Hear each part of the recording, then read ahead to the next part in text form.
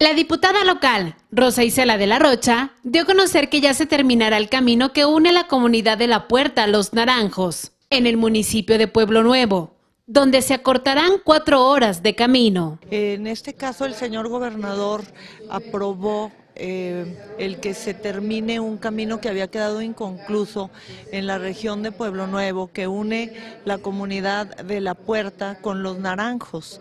Esto actualmente se lleva para llegar de La Puerta a los Naranjos este, casi cinco horas. Con este camino, que se va a hacer una hora, se están acortando tres, de tres horas y media a cuatro horas de camino.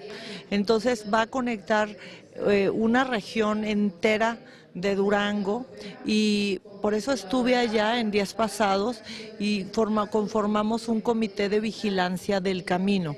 Lo que queremos es que el camino quede bien hecho porque muchas veces, como sabes, se les dan a contratistas y a veces no los hacen bien. Entonces, que es tan importante este camino que queremos aprovechar la voluntad de, del señor gobernador y de Secope que nos apoyaron en esta gestión y se integró eh, muchos ejidos y comunidades de allá.